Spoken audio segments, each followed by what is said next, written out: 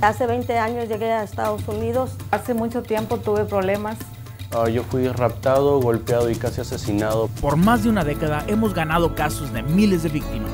Y ahora tengo mi permiso de trabajo. Si tú crees que por no tener documentos migratorios no tienes derechos, te recomiendo que acudas con los abogados García Ramírez González y Piña. Y los abogados García Ramírez González y Piña me resolvieron mi problema y hoy estoy en espera de mi ciudadanía.